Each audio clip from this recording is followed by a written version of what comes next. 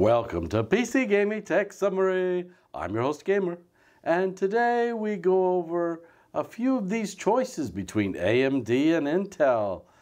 Yes, we're heading into the latter half of 2022, and we've got the new AM5 socket by AMD, and we've got 13th gen coming out from Intel, and the new Z790 motherboards.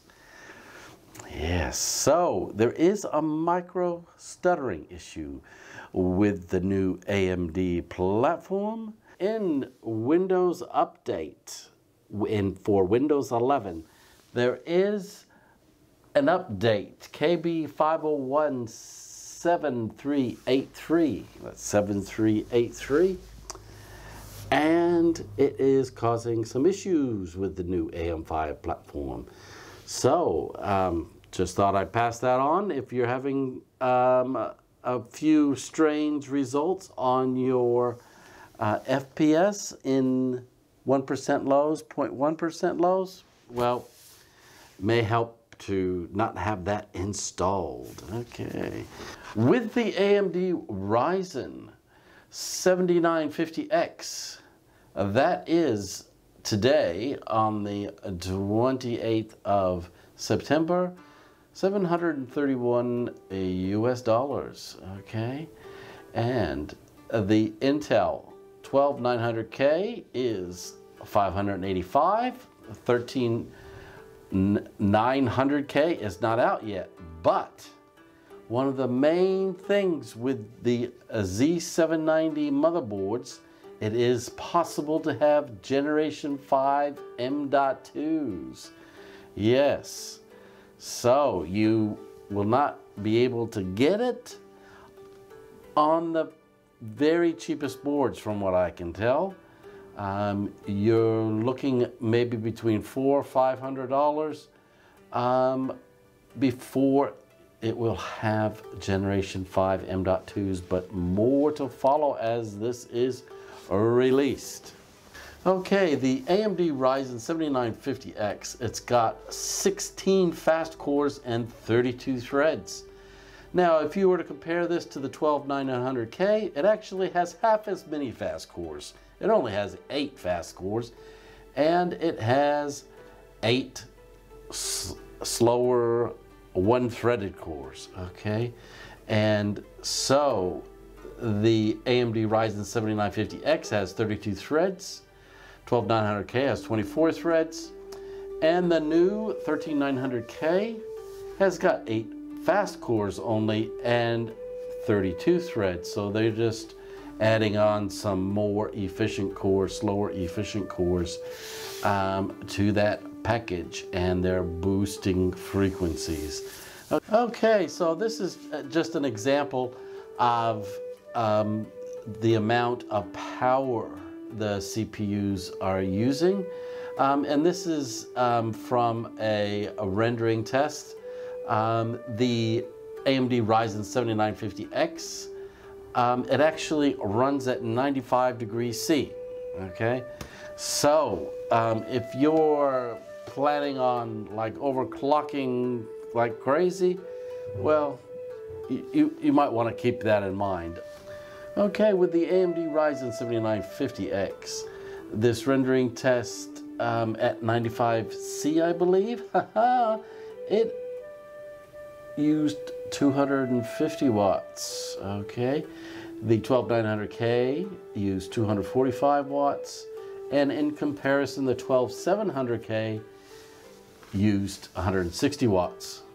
Okay, so, um, yeah, so power efficiency is uh, not that fantastic with any of these. Um, and um, basically, you can underclock, undervolt the 7950X and get phenomenal gaming re results, phenomenal rendering results, and cut your temps down drastically. Okay, so what if you want to put that thing in a small form factor case? Well, You just undervolt and underclock it and you'll be set. To keep in mind the total number of cores for each of these CPUs, uh, the 7950X has 16 total cores, 12900K 16 total cores, and the 13900K will have 24 total cores. What we have here is a column of CPUs. Um, the price as of September 28th. Cores and threads. How many fast cores? So uh, the, AM, uh, the AMD have all fast cores while the Intel have slower efficient cores as well as fast performance cores. The cost of a motherboard, cost of RAM, cost of CPU plus motherboard plus RAM, M.2 technology, and whether or not it has Wi-Fi. So this is a yes over there. Okay, and this is PCIe Express 5 here. If we start off with the 7900X that has DDR5, it is $590. It's got 12 fast cores, 24 threads. The cost of an entry-level motherboard is going to be around 330. For instance, the Asus TUF Gaming X670E Plus Wi-Fi 6E. All right, so that is going to have four M.2 slots, and that is going to have one Gen 5, two Gen 4s, one Gen 3. The price for DDR5 RAM that has 5600 mega transfers will be $210 as of the 28th of September. So if you add those three figures together, CPU, motherboard, and RAM, you get 1130 US dollars, okay? Now, if we go up here and we have a look at the 13700, we're just estimating the price. So today's price for a 12700, and this is the non-K version, is 343.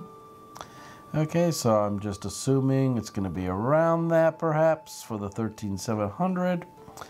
Um, and if we get an entry-level motherboard, uh, for instance, like an Asus Prime B660 Plus DDR4, 140 US dollars.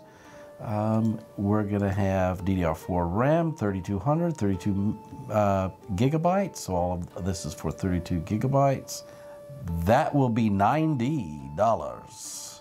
So if you add those three up, it, you get 573 bucks. You'll have three Gen 4 M.2s, PCIe Express 4 on the graphics card slot, no Wi-Fi. So just add 30 bucks if you want Wi-Fi to that with the appropriate uh, motherboard so that you can have a fast a Gen 5 M.2 slot, you're going to need a mid-range motherboard. You won't be able to get it on the budget as far as I can see. So you could get it with the ITX board, the ROG Republic of Gamers Strix Z790i gaming Wi-Fi, or the uh, Z790 Dash E Gaming Wi-Fi um, is another example. Um, so you're looking at 400 to $450, somewhere around there. And uh, that's what that's going to cost you. And then the DDR5 RAM, 210 bucks for the 5600. Okay, add those three figures together and you get 1003 bucks. Okay, so do you need Gen 5 M.2? Are you going to use it? Are you going to be able to afford it? How long is it going to be uh, before you do? How many years? Well, is this an option to going 140 instead of 4050 if you want to go Intel? DDR4 RAM, do you have old DDR4 RAM that you can plop in there, save money there? So obviously you can get a fast system um, at a lower price. So, you know, if you go that route. A few things to keep in mind is that NVIDIA is releasing the 4000 series of graphics cards very shortly here. And it is going to be a PCIe Express 4. Okay, so you're looking at the next round of NVIDIA graphics cards after that to be another two years. And then I would assume they're going to have PCIe Express 5 on their GPUs. What about AMD? I don't know about AMD. Even if it has PCIe Express 5, what's the speed difference? What's the FPS difference between 4 and 5? I don't think you're going to see much difference. All right? So, please keep this in mind. Well, if you'd like to see more videos on these new motherboards coming out and a wide variety of technology subjects, all you have to do is subscribe and you'll get notified when those videos are ready. And thanks for joining us here on PC Gaming Tech Summary. And don't forget, you'll be seeing me in the next video.